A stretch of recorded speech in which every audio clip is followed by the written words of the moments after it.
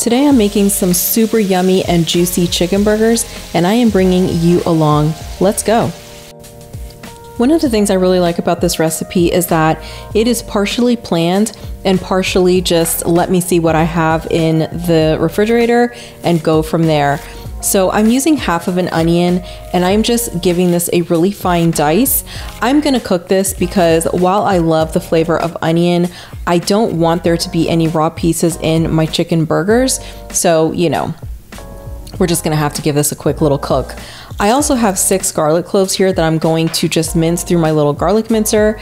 And again, just having those fresh elements, I think just adds so much flavor and deliciousness to any meal. And if you know me, and I hope that you do, I love to layer my aromatics, so onions and garlic.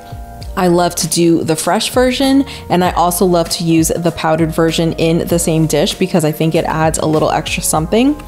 Right here, I am finally chopping up some herbs that I pulled from the garden. So I have rosemary, oregano, and three different kinds of thyme. These herbs have really taken off, unlike everything else in the garden. If you know, you know. So right here in my pan, I have just a little bit of olive oil. I think it's like maybe a teaspoon.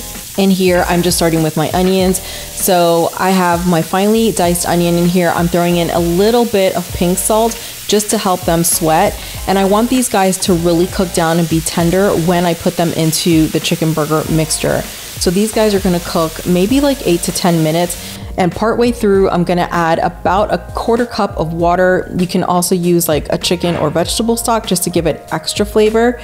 And this is going to really help everything to reduce down and just be delicious. So when I add my water, I also add the garlic and all of that deliciousness is gonna cook and we're gonna move on. So I am using two pounds of organic ground chicken here. To that, I'm adding two teaspoons of garlic powder, one heaped teaspoon of smoked paprika, a bunch of, well, I say a bunch, it's not a bunch, it's whatever onion powder I have left, which I think is about a tablespoon. Then I'm going in with some freshly cracked pink salt and black pepper. To that, I'm going to add the herbs that I chopped up really finely. So this is my thyme, oregano, rosemary. Am I leaving anything out? I don't think so. And then my beautiful onions and garlic that I cooked. To all of this, I'm going to add four ounces of coconut yogurt. So I'm using coconut yogurt because regular dairy just does not do me well. It makes me super congested. Same with gluten. So when I do this, you can definitely sub in an egg instead of using yogurt, but I'm using yogurt just to keep it moist. This ground chicken, this is white chicken and you know, chicken breast, that stuff can tend to dry out and not hold a lot of flavor. So I do find that adding something like this, something creamy like the yogurt is really going to help just for you because you know I don't like to measure. I just I measure with my heart and my soul. But just for you, I broke out a measuring cup so that I can make these pretty uniform. So I'm using a half cup measuring cup. I just fill it with the ground chicken and then I form it into my patty and I put it on my cookie sheet. Once everything is all formed up and I have them on my cookie sheet, I'm just going to put them in the refrigerator and I'm actually going to let them sit overnight. You don't have to do that. You can let them sit in the fridge for about an hour, but you do want to give them some time. This helps them to keep their shape. It also helps like to intensify the flavors. It is just, it's all the things.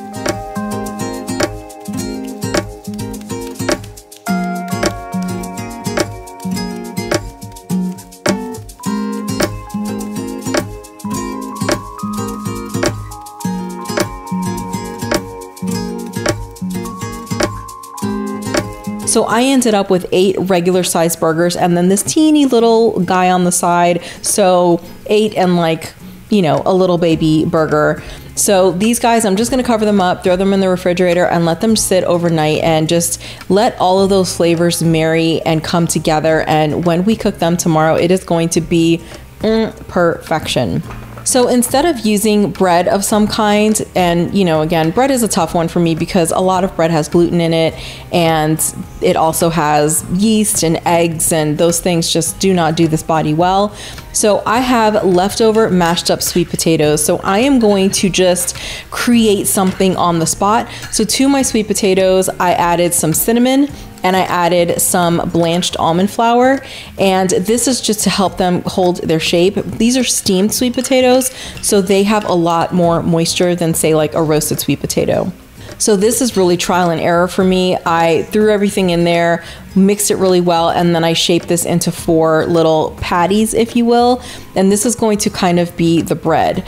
So while my little sweet potato situation hangs out for just a minute, I'm gonna get my chicken burgers going.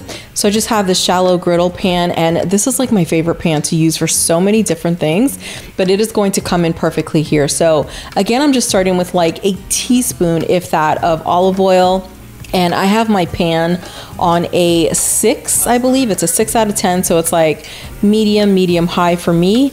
And I'm gonna let these guys cook for about four minutes on each side, and then I'm gonna give them a flip. So, one of the things I like to look at is if I look at the edge of the burgers, I just look at the color, and as the color is changing from bottom to top, that tells me that they're cooking through. So then I flip them, if that makes sense. Hopefully, it does.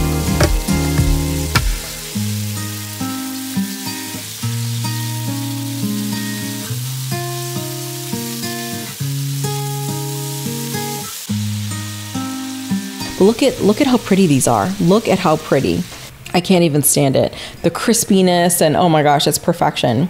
So while I was doing all of this, I did have my sweet potato patties in the air fryer and I'm calling them patties loosely. They're kind of like the bottom bun, if you will, but look at how good. Look at how good. So I cooked these at 400 degrees, 10 minutes on the first side, and then I think it was like five minutes on the second side, just to make sure that everything was cooked through. And I want these to dry out so that they do have more of like a bun type of texture.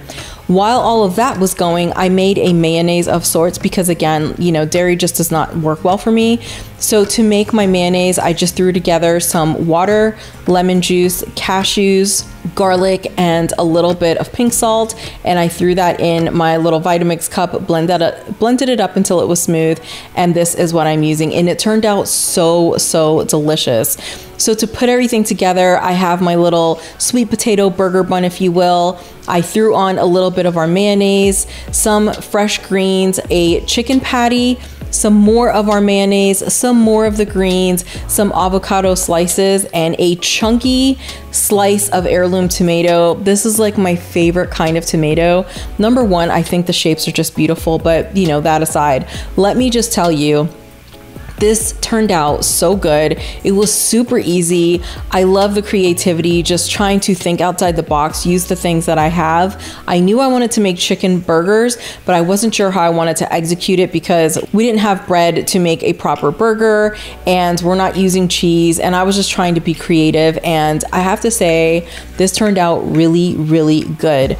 You can do whatever you want, add whatever you want, like whatever spices, make it your own. But I'm gonna tell you, you're gonna love me for this. Just make it. Thank you so much for hanging out with me. I hope that you enjoyed this recipe. If you did like this video, and I really hope that you did, please make sure that you give this a thumbs up, you subscribe, and you click that notification bell because all of that really supports my channel and it means the world to me.